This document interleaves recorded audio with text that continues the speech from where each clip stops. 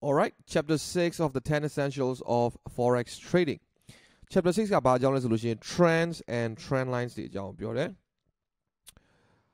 Currency trading is very different than trading stocks เนาะ stock share တွေ oops အယောင်းဝယ်လောက်တာနဲ့တဲ့မတူဘူးတဲ့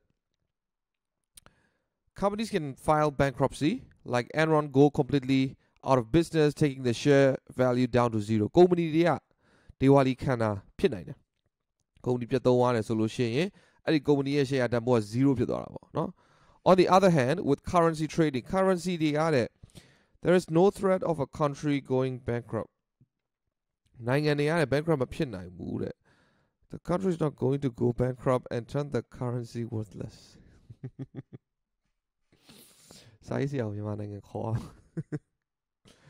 ဟိုကတ်ကတ်အဲ့မထည့်နဲ့နော်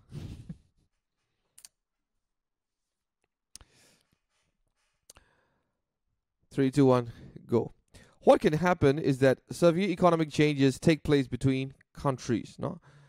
နိုင်ငံတနိုင်ငံကဗာလဲစီးပွားရေးအရာနော်အရန်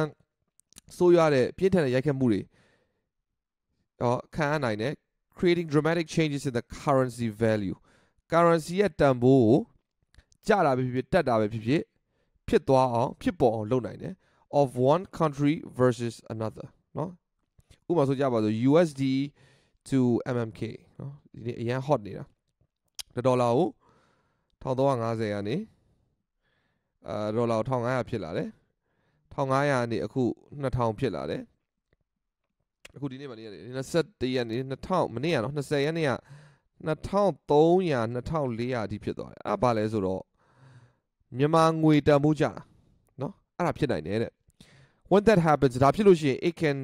create an incredible financial return for savvy educated currency trader ဒီလိုမျိုးဈေးနှုန်းအတက်အကျကျန်းတဲ့အရာတွေဖြစ်ပေါ်လို့ရှိရင်တဲ့တကယ် currency trading လုပ်နေတဲ့သူတယောက်အတွက် it is an opportunity เนาะဒီကနေပြီးတော့ဒီဒီအခွင့်အရေးကနေပြီးတော့ profit တွေရအောင်ရှာလို့ရတယ် for example uh currency 2020တော့ကဒေါ်လာကိုဗမာငွေ1380လောက်ထိကျသွားတယ် အဲ့1380ကျသွားတဲ့အချိန်မှာကျွန်တော်ရဲ့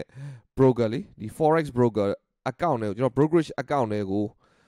ကျွန်တော်ရဲ့ဗမာငွေတွေရောင်းပြီးတော့ဒေါ်လာဝယ်တယ်အဲ့ဒေါ်လာကိုအဲ့ account တွေကိုထည့်ထားလိုက်တာเนาะအဲ့ဒီမှာကျွန်တော် trading လုပ်ပြီးအခုဆိုလို့ရှိရင်ဒါ profit တွေလည်းရပြီဒါပေမဲ့ profit မရဘူးပဲထောင်းမရဘူးပဲထောင်းเนาะ2020တော့ကဒေါ်လာကို1380နဲ့ဝယ်ပြီးတော့အဲ့ဒီဒေါ်လာတွေကို trading account ထဲမှာထည့်ထားတယ်ဘာမှ trading လည်းမလုပ်ဘူးဘာမှမလုပ်ဒီတိုင်းထိုင်နေမယ်ဆိုလို့ရှိရင်ဒီနေ့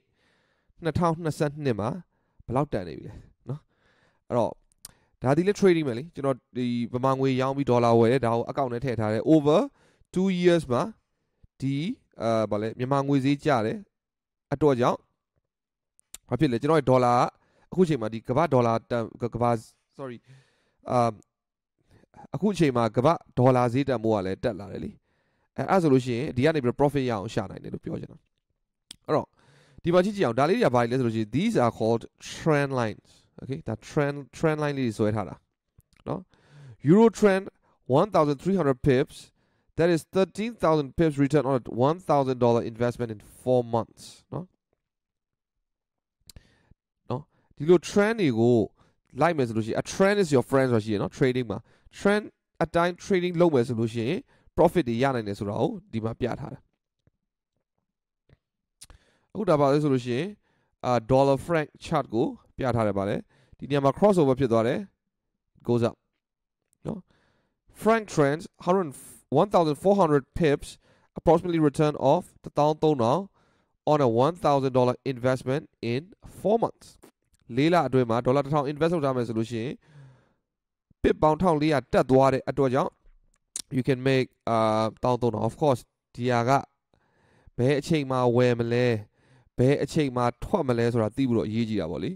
အကယ်၍ training ဖြစ်ပြီးတော့ပြန်ကြတာအချိန်မှာရောင်းမယ်ဆိုလို့ရှိရင်ကိုယ့်ရဲ့ profit ကတတော့ပဲရအောင်ပေါ့နော်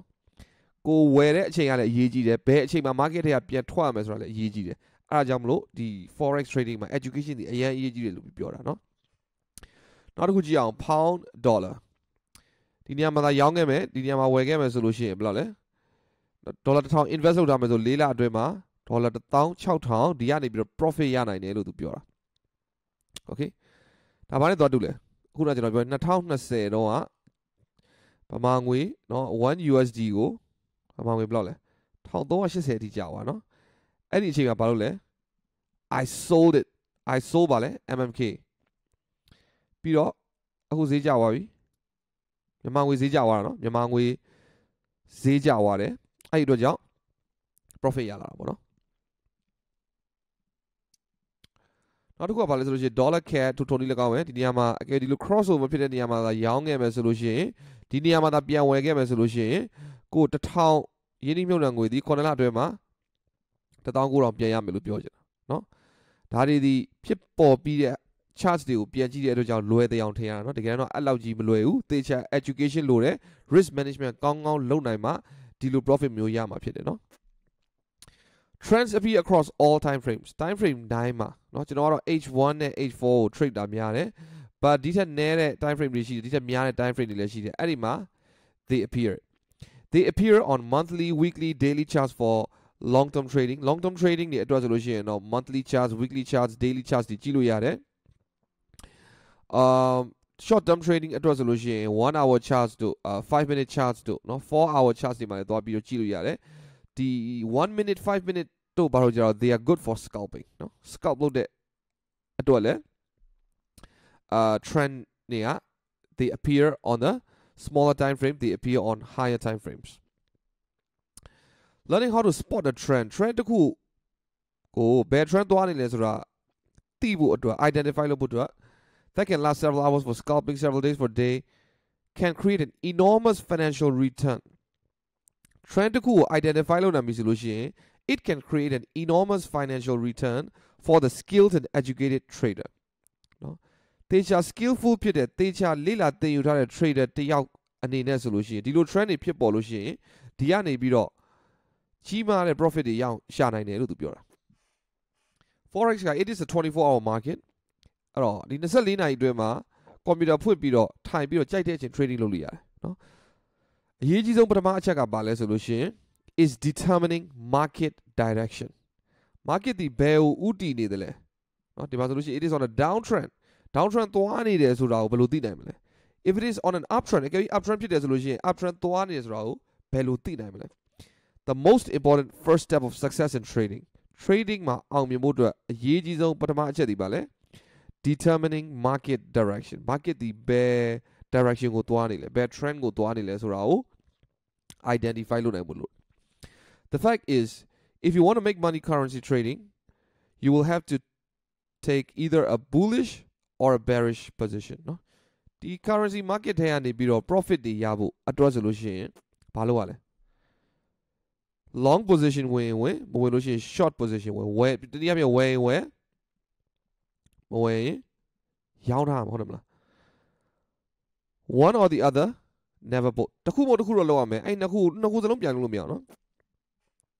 you cannot make money while uh, taking a bullish and bearish position at the same time you will be a net zero နော်အဲ့ခါကျလို့ရှိရင် it is a zero sum game ဖြစ်သွားမှာအဲ့တော့ pip every pip movement ကနေပြီးတော့ profit ရဖို့အတွက်ဆိုလို့ရှိရင်ကိုဒီဝယ်သည်သို့မဟုတ်ရောင်းသည်ကိုလှုပ်ထားမှာ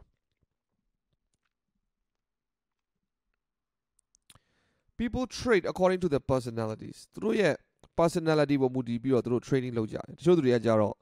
အမစိတ်ရှိတဲ့ trend ကိုသေချာအမိအယဖမ်းပြီးတော့ over the long run ကိုစိတ်ရှိရှိစောင့်နေသူတွေကြတော့လေ higher time frame မှာ trade ကြတချို့တွေက scalpers တွေနော် market ထဲကိုဝင်မယ်ထွက်မယ်ခဏလေးအတွင်းမှာ minute ပိုင်းလေးအတွင်းမှာဝင်ပြီးတော့ထွက်ပြီးတော့ဒီကနေ profit ရှာတဲ့သူတွေကြတော့ FX scalper လို့ခေါ်တယ်သူတို့ကကြတော့ဒီ market ထဲကိုအဝင်အထွက်အယမ်းမြတ်တယ်အရှုံးအမြတ်လည်းအယမ်းမြတ်တယ် aggressive people like to scout နော် aggressive ဖြစ်တဲ့သူတွေကဗာလဲ scout လို့လည်းခုခုပဲပြောတယ် passive people prefer long term trading နော် passive ဖြစ်တဲ့သူတွေကဗာလဲရေရှည်ကိုစိတ်ရှည်ရှည်နဲ့စောင့်ကြတယ်အဲ့တော့ဘယ်ဟာပိုကောင်းလဲမကောင်းလဲဆိုတော့ကိုယ့်ရဲ့ personality ပေါ်မှာမူတည်ပြီးတော့ trade တယ် trade လို့ရှိရင်ပိုကောင်းတယ်ဘယ်ဟာပိုကောင်းလဲဆိုပြီးမရှိဘူးနော်အမ်သူကအလဲမှာရှိတာရှိမယ် higher time frame ဆိုဥမာ daily candle တို့ weekly candle တို့ monthly candle တို့တွေရှိတယ် lower time frame ဆို 1 minute charts တွေ now um 5 minute charts တွေ50 minutes charts တွေရှိကျွန်တော်ကကြတော့အဲ့ဒီနှစ်ခုရဲ့အလဲမှာဖြစ်တဲ့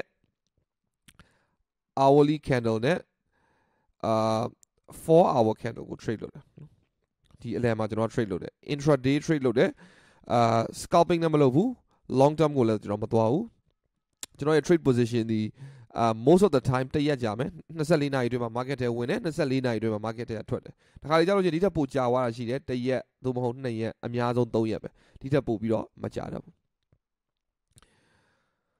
whether you are a passive trader or an aggressive trader ဘယ်လို trader မျိုးပဲဖြစ်ဖြစ် you need to be able to determine market direction before you trade trade မလုပ်ခင်မှာ market direction ဒီ is it on an uptrend or is it on a downtrend ဒါကို identify လုပ်တတ်ဖို့လိုတယ် because you need to trade in the direction of the trend all the times. No? Market got trending up ဆိုလို့ရှိရင်ကျွန်တော်တို့ trend နဲ့အတူ trade မှာပေါ့ buy မှာပေါ့အကယ်၍ market got trending down ဆိုလို့ရှိရင်ကျွန်တော်တို့ trend နဲ့အတူ trade eh? me. we gonna sell position လိုက်ရှာမယ် okay do not fight the trend no? trend go fighting မလုပ်ပါနဲ့တဲ့အကယ်၍ eh? down trend ဖြစ်နေတဲ့အချိန်မှာကိုကအောက်ကနေပြီးတော့ဝယ်တာမျိုးတွေအဲ तू ကလှုပ်ဖို့အားမပေးဘူးဒီလိုမျိုးလှုပ်တဲ့သူတွေရှိတယ် ဒါတကယ်အရန် highly professional ဖြစ်တဲ့သူတွေတကယ်ဒီ trading strategy highly sophisticated trading strategy ဒီနဲ့ professionally trade တဲ့သူတွေမလုပ်ဘူးမဟုတ်လုပ်တယ်ဒါပေမဲ့ trend အတိုင်းသွားတာပို့ပြီးတော့ high probability ဖြစ်တယ်လို့ကျွန်တော်ကတော့ထင်တယ်ကျွန်တော်ကိုယ်တိုင်လည်း trend following strategy ကိုအသုံးပြုတာ fighting a trend is like trying to swim upstream through violent forceful rapid เนาะရေစံကိုရေပြန်ကူးနေရတယ်လို့ပဲတဲ့ တော့ဒီ trend ကို fight လုပ်ပြီးတော့ trading လုပ်တာဟာ traders can make many mistakes เนาะအမှားတွေအများကြီးပါနိုင်တယ် the biggest mistake is trading in the wrong direction အကြီးမားဆုံးအမှားဒီပါလဲမှားယွင်းတဲ့ direction နဲ့အတူကွာ trade position ဝင်ခြင်းပဲဖြစ်တယ်တဲ့ okay up trend နေ down trend နေကြည့်ကြည့်အောင်နော် up trend မှာသူပါလဲ inner trend ရှိမယ် outer trend ရှိမယ် long term outer trend ရှိတယ်ထိုနည်း၎င်းပဲ down trend မှာလည်း inner trend ရှိမယ် outer trend ရှိတယ် long term out trend ရှိတယ် primarily three trends inner trend outer trend long term out trend ဒီ trend line တွေကကျွန်တော်တို့ကကျွန်တော်တို့လက်နဲ့ဆွဲလို့လည်းရတယ်ဒါမှမဟုတ်ကျွန်တော်တို့ trading software အသုံးပြုမယ်ဆိုလို့ရှိရင်အဲ့ဒီထဲမှာပါတဲ့အရာတွေကိုလည်းသုံးလို့ရတယ်ကျွန်တော်ကတော့လက်နဲ့မဆွဲဘူးเนาะကျွန်တော်သုံးတဲ့အာ trading software မှာအသုံးပြုတဲ့အာ moving average တွေကို ကျွန်တော်ဒီမှာပြမယ်နော်ဒီမှာဆိုလို့ရှိရင်ကျွန်တော်သုံးပြုတဲ့ inner trend. This is the inner trend. ဒါပါလဲဆိုလို့ရှိရင် outer trend. This is the long term outer trend. အဲ့တော့ဒီနေရာမှာ crossover ဖြစ်သွားပြီဆိုလို့ရှိရင် we are looking for buy position. ဝယ်ဖို့အတွက်ကျွန်တော်တို့ market ထဲကနေစောင့်ခရီးလကောင်းမယ် this is the long term outer trend နော် long term outer trend. ဒီကောင်ပါလဲ blue line လေးက it is an outer trend အစိမ်း online လေးကပါလဲဆိုလို့ရှိရင် it is an inner trend ဒီမှာ crossover ဖြစ်သွားပြီဆိုလို့ရှိရင် I am only uh, looking for sell နော်ဒီနေရာမှာ buy position ဝယ်ဖို့ကျွန်တော်မရှာဘူး because it is on a downtrend နော်ဟော chapter 6က trend line တွေအကြောင်းပြောတယ်အတူကြုံပြီးပြောရမယ်ဆိုလို့ရှိရင် trend line တွေကိုဆွဲပါပြီးလို့ရှိရင် market ဒီဘယ် direction ကိုသွားနေလဲဆိုတာကို identify လုပ်တတ်ဖို့လိုပါမယ် market direction ကို against လုပ်ပြီးတော့ opposite trade တွေဝင်လို့ရှိရင်ဒီ show မှု probability ပိုများတယ်ဆိုပြီးဒီစာအုပ်ထဲမှာဒီ chapter မှာသူရေးထားပါတယ်နောက်တစ်ခုကပါလဲ uptrend and downtrend lines do not indicate market direction but also act as level of support and resistance ပြီးခဲ့တဲ့ video เนาะဒီ chapter 5မှာပါလဲ support and resistance အကြောင်းပြောထားတယ်အာ ဒီ trend line တွေကပါလဲဆိုလို့ရှိရင် support သို့မဟုတ် resistance လည်းဖြစ်ပေါ်နိုင်တယ်လို့ပြောဒီနေရာမှာဆိုကြည့်ဟောဒီနေရာမှာ crossover ဖြစ်သွားတယ် this on a downtrend ဒါဆိုလို့ရှိရင် trend line ရမှာဖြစ်လေဒီနေရာမှာဖြစ်လေ is tested resistance tested resistance tested resistance နေရာမှာပါလေ it is tested resistance เนาะဘာဖြစ်လို့လဲ resistance or support ဒီ horizontal line ကြီးပဲဖြစ်နေရမယ်မဟုတ်ဘူးတခါလေကြာရင်ဒီเนาะဒီ trend line တွေဒီလဲဒီ resistance or support ဖြစ်နိုင်တယ်ဆိုတာကိုသူဒီမှာပြောထားတယ်အောက်မှာပါရေးထားလေ the followings are always great tools to use when determining when to enter the market trading software ကိုအသုံးပြုတယ် that can help determine trend direction market ဒီ it is is it on an uptrend is it on a downtrend ဒါကိုသေချာ identify လုပ်နိုင်တဲ့ trading software ကိုသုံးမယ်နောက်တစ်ခုကပါလဲ candlestick formation တွေကိုကျွန်တော်တို့အသုံးပြုမယ် is it a bullish candle or a bearish candle ဒါတွေကိုအသုံးပြုပြီးတော့ market ထဲကိုအာ position ဝင်ဖို့ decision ချဖို့အတွက်ဆိုလို့ရှိရင် candlestick တွေသုံးတာလည်းကောင်းတယ်နောက်တစ်ခုကပါ level of support and resistance ဒါတွေကိုအသုံးပြုရမယ် the knowledge that past resistance many times become future support and vice versa เนาะပြီးခဲ့တဲ့ chapter မှာကျွန်တော်ပြောထားတယ် resistance ရှိတယ်เนาะ r ပေါ့เนาะ resistance is r ဈေးရတက်တယ်ပြန်ကြတယ် resistance ကိုထိတာ哦 တက်တယ် resist ပြန်ကြတယ်တက်တယ်ပြန်ကြတယ်အကယ်၍ bias တွေအောက်ကနေကောင်းကောင်း push လုပ်နိုင်လို့ဖောက်သွားပြီဆိုလို့ရှိရင်ဒီ resistance ဒီဘာဖြစ်သွားပြီလဲ it becomes a support နောက်တစ်ခုကဘာ and vice versa လို့ပြောတာဘာဖြစ်လို့လဲအကယ်၍ကိုကအပေါ်မှာအမ်အပေါ်မှာမဟုတ်ဘူးဆိုကြပါစို့အ support ဆိုကြပါစို့နော် support market ကကျလာတယ် support ဆိုတာပတ်မိုးပြီးတယ်ပြန်တက်သွားတယ်ကျလာတယ်ပြန်တက်သွားတယ်ကျလာတယ်ဒါပေမဲ့ after testing many times breakout ဖြစ်သွားပြီဆိုလို့ရှိရင် breakout ဖြစ်သွားပြီဆိုဒီ line เนี่ย support ကဘာပြန်ဖြစ်သွားမလဲဆိုတော့ it is a new resistance ဖြစ်သွားတယ်ဒါဟုတ်သူပြောချင်တာ နောက်တစ်ခုကဘာလဲ the knowledge that the trend lines act as floors of support and ceilings of resistance ခုနပြောတဲ့အတိုင်းပဲ and become visible locations for the next bounce in the direction of the trend မျက်စိနဲ့မြင်နိုင်လို့ရတဲ့နော် visible locations for the next bounce ဘယ်အချိန်မှာနော်ဒီတရားဒီ support သို့မဟုတ် resistance ကိုဘယ်အချိန်မှာပြန် bounce လုပ်မလဲဆိုတော့မျက်စိနဲ့မြင်နိုင်လို့ရတဲ့ location လေးတွေဖြစ်ပေါ်လာတယ်အဲ့ဒါတွေကိုအကျိုးရှိရှိအသုံးချရမယ်နော် conclusion ဆိုလို့ရှိရင် trading software သုံးမယ်အဲ့ဒီ software ဒီပါလဲ market direction ကို identify လုပ်နိုင်ရမယ်နောက်တစ်ခု candlestick formations တွေကိုကြည့်မယ် level of support and resistance ကိုကြည့်မယ်ပြီးတော့ resistance ဒီ support ဖြစ်သွားနိုင်တယ်လို့ support ဒီလည်း resistance ဖြစ်သွားနိုင်တယ်ဆိုတဲ့ knowledge ကိုကောင်းနဲ့ထည့်ထားပါတဲ့နောက်တစ်ခုကပါလဲ bounce ဖြစ်လို့ရှိရင်เนาะ price ဒီ bounce ဖြစ်လို့ရှိရင်မျက်လုံးနဲ့မြင်နိုင်တဲ့ location တွေဘာတွေလဲအဲ့ဒါတွေကဘာလဲဆိုလို့ရှိရင် flaws of support and series of resistance ဒါတွေကိုအမြဲကြည့်နေပါလို့သူကဒီ chapter ထဲမှာသူရှင်းပြထားတယ် forex trading နဲ့ပတ်သက်လို့ကျွန်တော်ရေးထားတဲ့ trade like a rock star ဆိုတဲ့စာအုပ်ကိုဖတ်ချင်တယ်ဆိုရင်တော့ဒီ website မှာအခမဲ့ download လုပ်ယူလို့ရပါတယ်အကယ်၍ forex trading ကိုစိတ်ဝင်စားတဲ့ laptop နဲ့ internet ရှိုံနဲ့ပုံမှန်ဝင်ငွေရှာနိုင်တဲ့စီးပွားရေးလုပ်ငန်းတစ်ခုစတင်ခြင်းနဲ့ဆိုရင်တော့ကျွန်တော်ရဲ့ page messenger ကနေဖုန်းနံပါတ်ချန်ထားပေးခဲ့ပါကျွန်တော် team ကသူတွေ24နာရီအတွင်းဆက်သွယ်ပြီးတော့ သင်တန်းအကြောင်းနဲ့ trade together လို့ခေါ်တဲ့ rockstar community group network အတူတူ trading လုပ်ပြီး profit တွေရှာလို့ရတဲ့ plan အမျိုးအစားတွေကိုအသေးစိတ်ရှင်းပြပေးမှာဖြစ်ပါတယ်